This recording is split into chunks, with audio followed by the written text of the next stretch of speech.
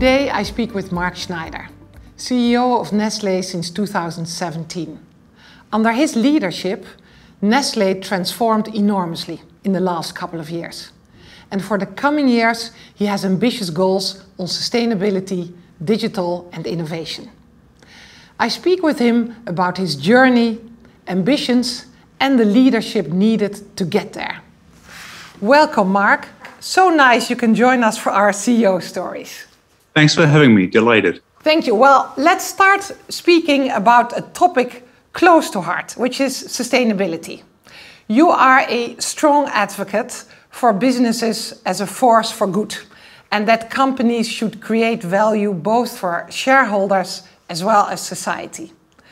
Now, my first question is about your Creating Shared Values program. Uh, how does it contribute to the Paris Agreement? Could you elaborate on that? Absolutely. And uh, let me point out that uh, creating shared value uh, is a concept uh, that Nestle helped to pioneer. We were working very closely with Harvard Business School and some researchers uh, at that place um, at the time uh, on this concept to bring it to life. And um, it is about our broader relationship to society around us. And as you said, it's about creating value not only for shareholders, but also for society at large as we go about um, our business. And the link now, of course, to the Paris Agreement is that one of the challenges to society these days is um, uh, greenhouse gas emissions and climate change. And hence, uh, we have to all work really hard to address that. I think uh, it's an area where early on we expressed our support uh, for the Paris Agreement. Even at the times when politically the winds were blowing elsewhere, um, we uh, stayed into that movement. In fact, we were part of a movement in the US saying we're still in uh, at the time when uh, the government was out. Um, and uh, we gave our pledge in 2019 towards the one and a half degree goal. And then, as part of that, we uh, published our roadmap uh, late last year. Uh, the rules say that within two years, you have to publish a detailed roadmap, how you intend to get there. This is important these days because, on a 30 year undertaking, people want to see specifics. They want to see milestones and things that specifically you do. And uh, uh, this is essentially what we published. I think in our industry, food and beverage, it's seen as uh, one of the, the benchmarks now. You published very concrete goals, also on the short term, ambitious goals. Yes, and so everyone, of course, that's uh, engaged in uh, addressing climate change um, points out the importance of the next decade. So obviously, at some point, you want to arrive at carbon neutrality, but making a dent in the curve uh, for the next decade, I think that is a major issue, and hence, to me, the milestones that apply to the first decade are really the most important ones. And could you give specific examples of what you're doing? So the carbon roadmap is one. Um, I think uh, plastics uh, waste reduction and packaging waste reduction uh, is another key theme. Um, so this is one where you have to recognize that plastic was originally adopted 50, 60 years ago as a packaging material of choice because it really offered unparalleled advantages when it comes to uh, shelf life and uh, food safety. And I think only over time did society understand that, of course, there are some uh, some costs here when it comes to littering and uh, the slow degradation of the product and the fact it's accumulating on beaches and, and rivers and so forth. And um, so here we have a collective challenge that we're all facing. Our name is um, on the packaging, so it's it's not only about the material; it's also about how consumers um, perceive Nestle and think about Nestle. Yeah. And so we're tackling this from all ends. Uh, we've committed to make our uh, packaging recyclable or reusable by 2025 in order to be sure that we are the masters of our own fate and we're not just a passenger to the packaging industry. We established our own Institute of Packaging Sciences where we uh, pilot uh, many of these um, solutions. Uh, we also test new solutions that are being brought to us. So we wanted to be sure that we, we do have our own initiatives uh, in that space. Yes, and I think you also uh, have activities in the field of transparency of the of the food chain. Yeah.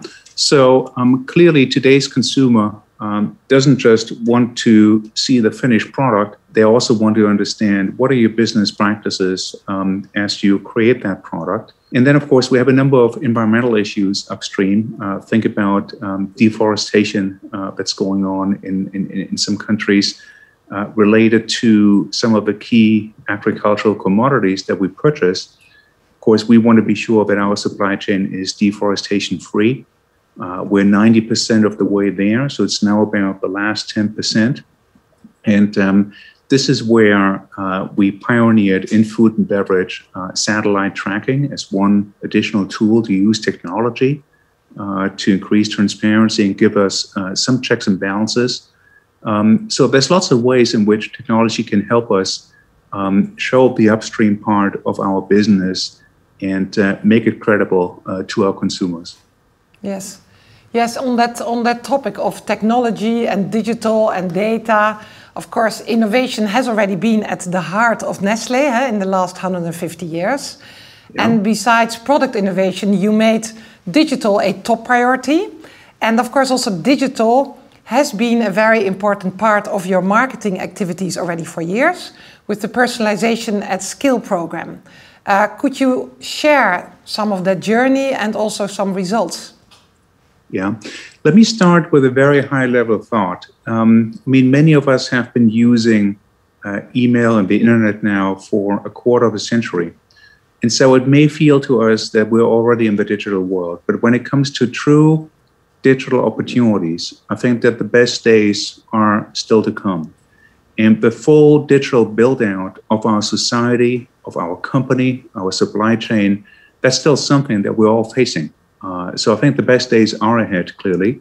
And it shouldn't surprise you. If you think that's slow, well, think about the automobile. The automobile was invented in the 1890s. And it was not till like the 1950s and 60s that our lives truly were centered around this. And so you had inner cities that facilitated commuting. Uh, you had suburban shopping malls, office complexes, uh, and so forth. You had a highway system that linked cities. And so it shouldn't surprise us that um, after some early adoption, it does take a while till that full build out uh, is there. And in food and beverage, uh, clearly uh, COVID, as uh, sad as it is, um, I think was one of these uh, accelerators. Um, food and beverage was a category that was among the slower adopters um, of uh, a digital e-commerce kind of approach. It has now received a tremendous shot in the arm and boost, and um, we don't see it sliding back. In fact, we see it uh, continue from here because many people uh, who've seen the convenience and the possibilities um, under the pressure of the pandemic are probably now staying with this way of uh, doing their business um, even after the pandemic. Now, when it comes specifically to personalization at scale, when you look back at uh, marketing research, I think this was the old marketeer stream going back to the 1970s and 80s that you have a segment of one approach in your communication, but then also uh, in some cases in the finished product. And at the time, it sounded like an academic pipe dream, but I think now what's happening is with digital, personalization at scale becomes affordable and possible. And um, so we're seeing it in the communication, where, of course, more and more of our um, uh, communication is targeted specific to a consumer. And you're also seeing it in some business models where people purchase uh, highly personalized uh, products. A good example is our uh, investment in Tails.com, which is a bespoke pet food uh, maker based in the UK. So here you enter the specifics of your uh, pet and then out of 15 different ingredients, we produce uh, the pet food that's right uh, for your dog. And it comes as part of a subscription shipped to your house, even with the name of the pet on it, so that if you have several pets, uh, you can keep the bags apart. So it just shows you um, how um, finally, you know, at a very affordable uh, cost, these personalization strategies um, are here and around us. You actually talk about the category that is a front runner in digital, which is uh, pet food. And um, of course, you've acquired Tails.com, but I think you're busy there with a broader movement to go from pet food to pet care. Can you explain your activities in this field? You're absolutely right. And uh, I think pet food is one of these signature categories where you see the opportunities uh, that come from ecosystem building. And for a consumer, it is not only about purchasing the pet food to feed the pet, uh, it's about the total pet ownership situation. So from the moment you think about adopting a pet to selecting one, to then maybe addressing um, health issues uh, that a pet has. Not each and every minor little issue will require a full trip to the vets, which will come at uh, significant time and cost and inconvenience. Uh, but rather, many issues can be solved with an expert uh, online. And uh, so we give very personalized service there. In exchange for that, we're getting data about that specific pet and uh, the owners. So we can tailor our approach uh, much more personally. Then there is pet health issues, and uh, so um, we're also investors in a chain of pet care clinics. see a significant opportunity there. And uh, so it's about the total ownership journey that um, uh, we're seeing here. And I think pet care is a good overall expression to describe uh, that broader view that we have on the opportunity. Yeah.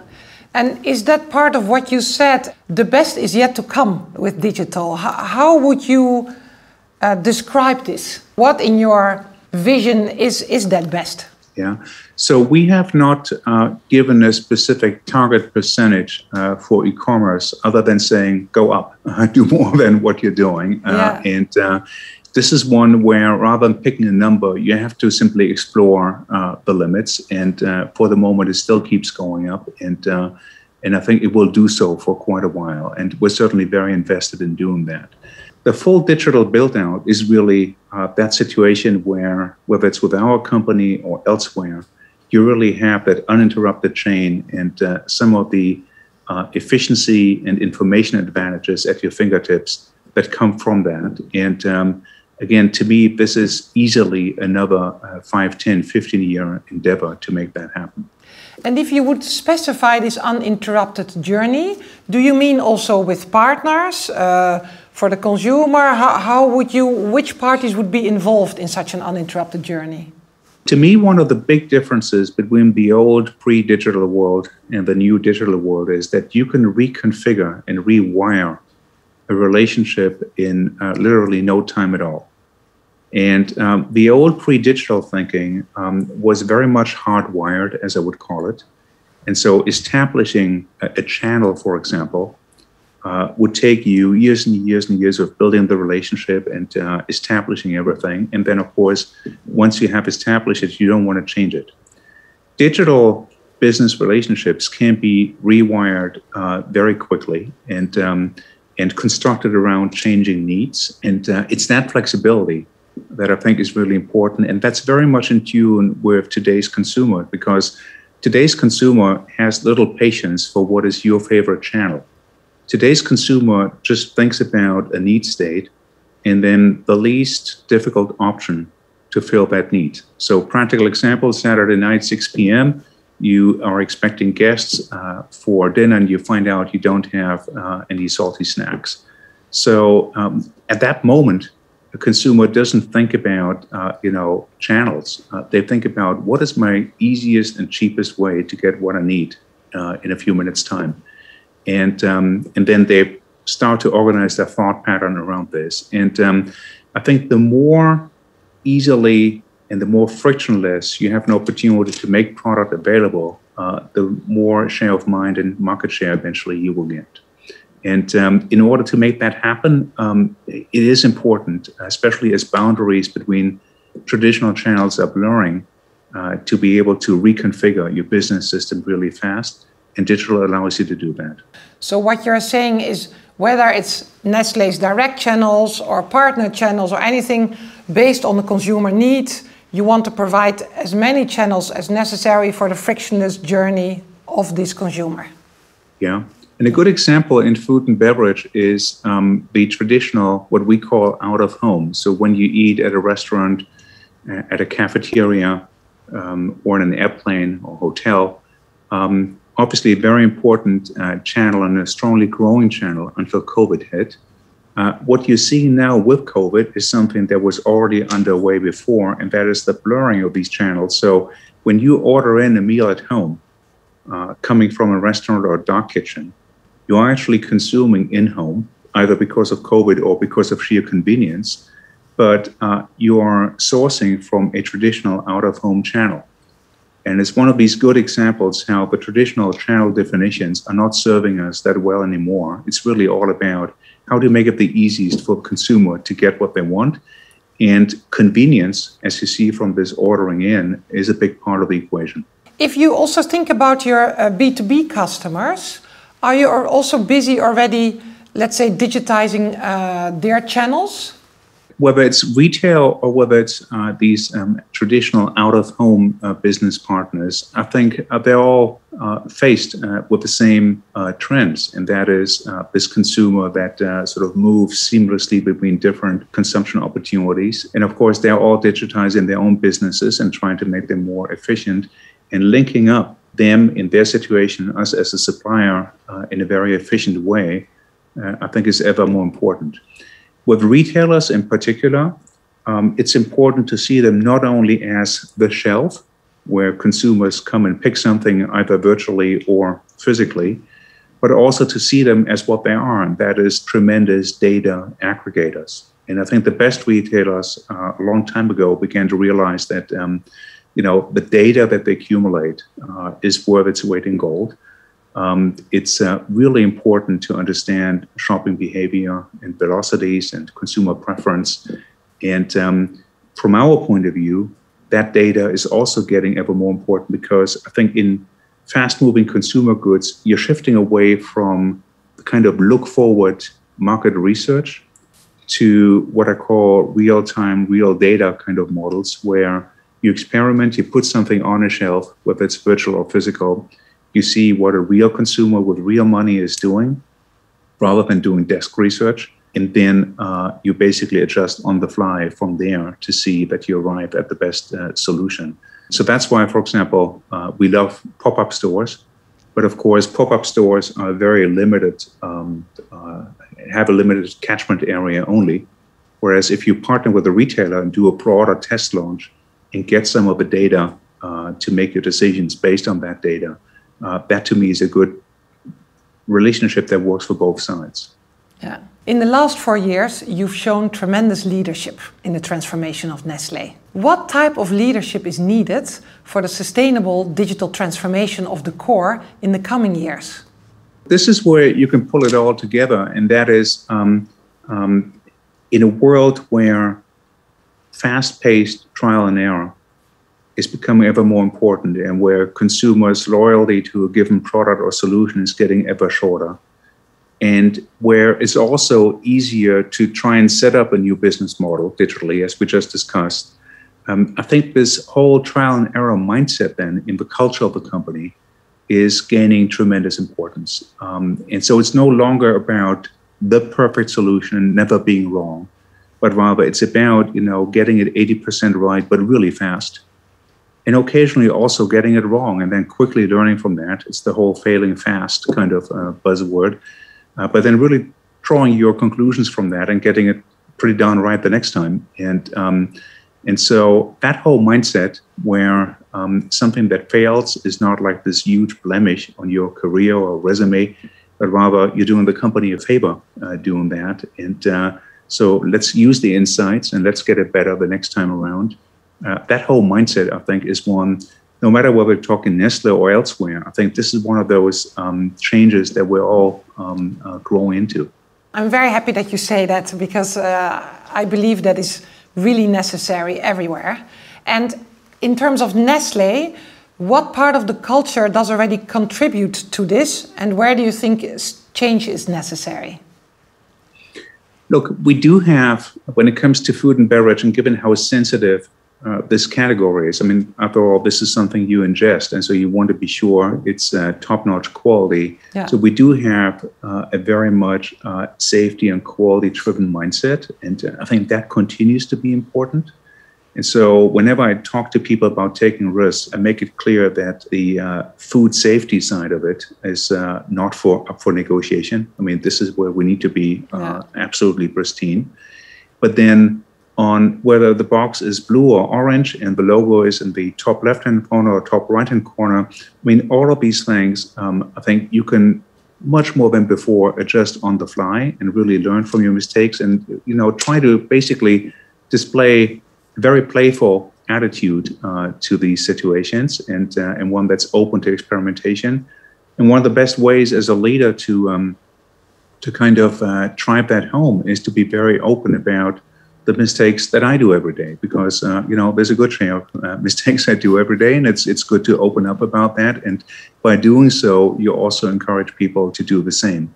And obviously, you know what I keep telling people is don't mind making the mistake. Watch what I call from baseball the batting average. So make sure that over time you're not positive, uh, but um, it's uh, it's really about that. It's about accepting mistakes about you easily, uh, and uh, then really trying harder next time around to do better. And you are, of course, the first external uh, CEO for Nestle since I think almost a century is that also is this mindset also what you contribute? So what do you think you bring in that sense? I think uh, a lot of the changes i described were well underway in the company uh, when i joined and i applaud uh, nestle for you know being an organization that over the years has always adjusted very well to uh, changes in the environment and you know even for any given moment in time the company has tremendous flexibility, uh, which is needed to be able to do business in 187 markets around the world. So I think a lot of that has always been there and allowed us to uh, survive and prosper for 155 years.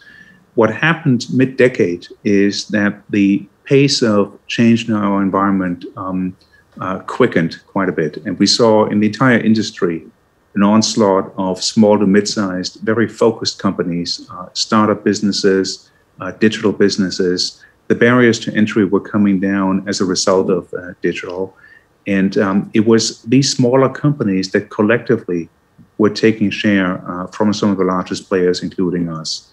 And so this is where I think we had to step it up one notch uh, when it comes to uh, that pace of change. And um, it was very rewarding to see how the uh, organization responded to that and um, I'd be the first one to say it's not about the leader, it's actually about the environment because essentially people want to win. And when they see that um, it takes an additional gear uh, to, to, to actually win, um, then uh, you know they shifted up and, uh, and they got it done. Yes, I agree. And I think that's a great way to end our interview. So thank you so much, Mark, uh, for your time and your inspirational answers. And uh, good luck with the fast paced uh, future. Thanks so much. It was a pleasure to have a conversation. And I think we touched upon a few really important core issues uh, from sustainability to digital as the company um, faces the future and tries to make the best of it. Absolutely. Thank you.